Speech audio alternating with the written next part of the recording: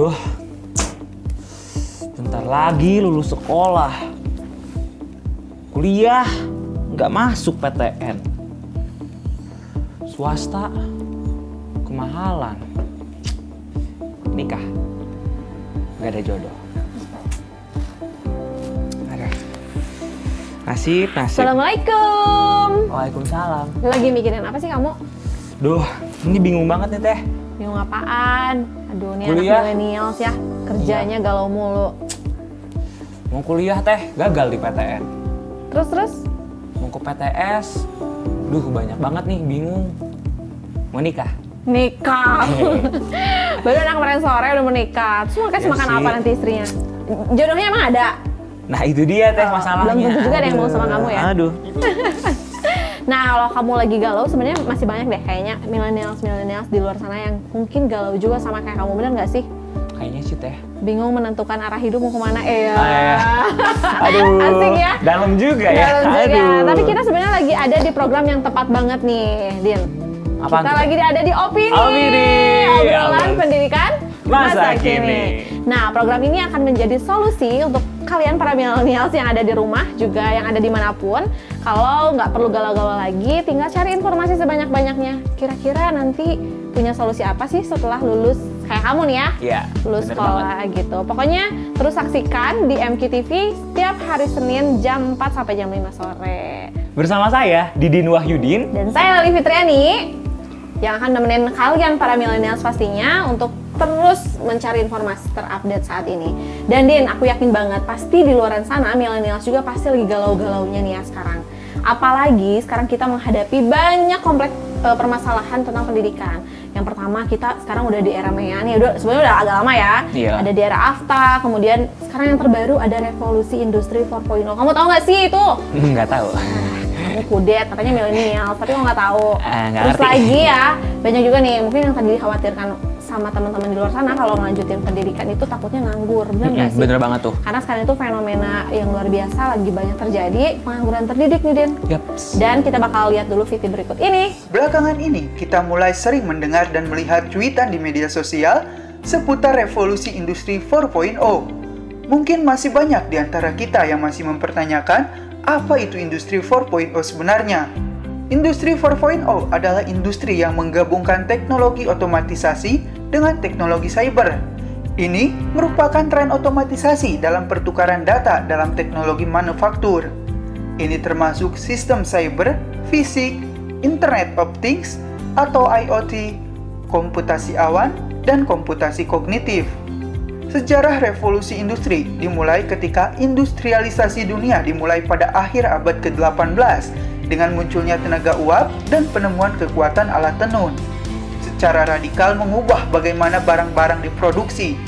Satu abad kemudian, listrik dan jalur perakitan memungkinkan produksi massal.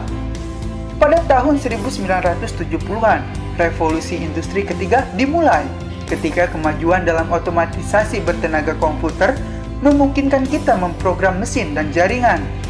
Hari ini, revolusi industri keempat mengubah ekonomi, pekerjaan, dan bahkan masyarakat itu sendiri.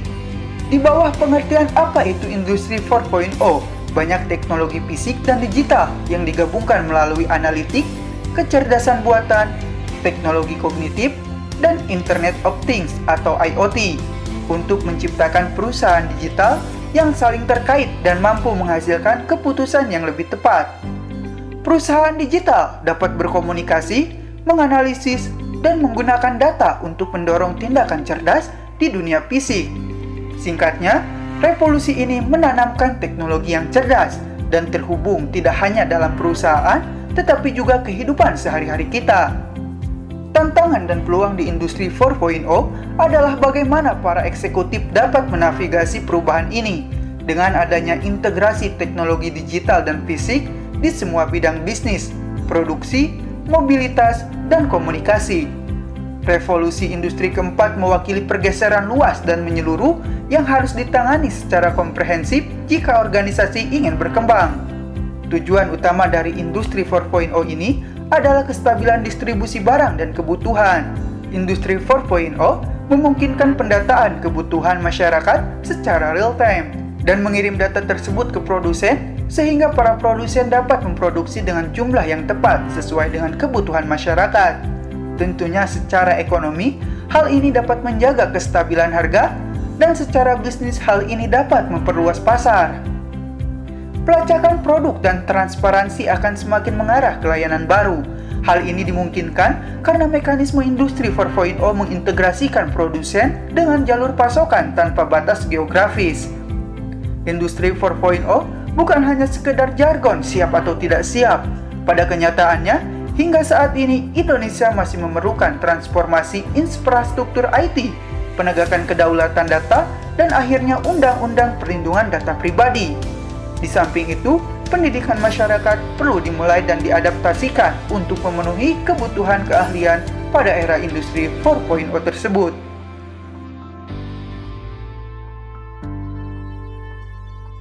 Tuh kan Din, tadi kita udah lihat betapa kompleksnya permasalahan sekarang yang akan dihadapi oleh orang-orang seperti kamu nanti generasi milenials ya. Yes. Benar nggak sih? Dan kamu kira-kira udah mulai ada pencerahan atau Din sih dari lihat tadi video yang tadi hmm. itu ngeri miris gitu loh teh uh. dengan kejadian yang ada uh. gitu. Sekarang nih ada, aduh, uh, ada yang ganteng. aja, karena aku mau ngasih solusi nih. Kita sudah ada menghadirkan. Kece. Siapa ini teh? Bapak kita, oh, yang akan menemani generasi milenials yang ada di rumah dan teman-teman yang di mana pun yang akan banyak ngasih solusi dan wejangan mungkin ya. Mungkin. Untuk teman-teman di rumah gitu kan Bagaimana sih cara menyikapi menentukan masa depan nanti ya? Wah. Benar nggak sih? Langsung Benar aja kita sambut Bapak Dr. Insinyur Adriza MSI. Selamat siang Bapak. Ya, siang. Sehat Pak? Alhamdulillah sehat, sehat. walaupun ada flu-flu sedikit. Ada flu sedikit, tapi untuk generasi milenial nyempet-nyempetin datang ke sini ya Pak. Betul. Ah, luar biasa. Beliau ini merupakan salah satu pakar pendidikan di Indonesia yang sudah tidak perlu diragukan lagi, Dit. Sudah melanglang buana uh, di seluruh bukan Indonesia. lagi. Kita bakal tanya-tanya nih, kira-kira hmm. nih, Pak, tadi katanya Didin lagi galau. Oh iya. Gara-gara mau lulus SMA, yeah. bingung mau kuliah tapi nggak diterima di PTN mau kerja katanya nggak mau jadi OB. Ya. Terus mau nikah aja katanya Pak. Aduh gimana Belum ada nih jodoh Pak, Pak nikah. Kira-kira Bapak punya solusi nggak atau mau menanggapi tentang permasalahan yang ada? Tadi juga kita udah nonton videonya juga. Ya, ini permasalahan pelik sebenarnya bagi bangsa Indonesia saat ini era reformasi berkembang, era revolusi berkembang. Saat ini kita juga udah negara kita masuk kepada zaman era eh, revolusi industri 4.0 ya. Dan kita juga sudah masuk dalam anggota masyarakat ekonomi ASEAN. Nah, juga termasuk dalam AFTA ini menandakan negara kita harusnya sudah mampu bersaing dengan negara-negara lain. Uh, bangsa kita mampu bersaing dengan negara-negara lain dalam hal uh, pendidikan maupun juga dalam sumber daya manusia ketenaga kerjaan. Namun kan seperti kita lihat saat ini sudah mulai di negara kita akibat adanya MEA ini masyarakat ekonomi ASEAN uh, tenaga tenaga kerja asing untuk level-level yang di bawah pun sekarang udah masuk ke Indonesia. Sementara bangsa kita jumlah ma masyarakat Indonesia berapa banyak? Orang yang tamat SMA yang mau mencari kerja sudah habis diambil oleh tenaga-tenaga asing. Yang juga notabene-nya juga levelnya tamatan SMA mungkin ya. ya Kenapa bisa terjadi begitu? Nah, ini kan jadi pertanyaan. Kenapa? Nah, dalam satu uh, kegiatan nyatakan MEA itu bisa uh, terlaksana kalau perpindahan ataupun pencari kerja memiliki kompetensi-kompetensi yang handal untuk bidang tertentu dia bisa bekerja di mana pun di negara mana pun. Seperti adik kita nih tadi mau kerja di luar negeri bisa di Singapura, Malaysia, asal dia punya Kalau keahlian, punya kompetensi punya ya, ke- Pak, ke- ya. kompetensi. Tuh, ya dengerin. kan? Ah, ya. Di TKW juga Ya, ya. jangan dong. jangan jadi berpikir jadi TKW atau Iya. TKI ya dalam hal walaupun itu sebenarnya juga penghasil devisa bangsa Betul, kita ya. betul, betul. Tapi apakah kita mau jadi yang seperti itu? Betul, Nah, harus jadi pemenang ini ya. Harus pemenang dong. Saatnya milenials Nah. berperan. Iya. Tagline kita, Pak. Ya, betul. Jadi yang menjadi perhatian kita tamat SMA sebentar lagi. Mau ke mana? Nah, ya kan? Ya kita di sinilah bangsa kita harus berpikir, masyarakat kita berpikir, adik-adik ta- yang sebentar lagi mau tamat SMA, SMK, mau ke mana sih? Harus bisa menentukan sikap. Mau tadi dibilang nggak diterima di perguruan tinggi negeri, mau cari kerja susah, mau nikah pun jodoh belum ada, ya kan? Bekerja sih, Pak. bagaimana? Nah, ya. Yang lebih parahnya lagi kan kalau wanita sih nggak masalah menikah dengan laki-laki ada yang penanggung jawab. Nah bagi yang laki-laki taman SMA Mau dikasih makan apa ya, mau Pak? kasih makan apa kan gitu.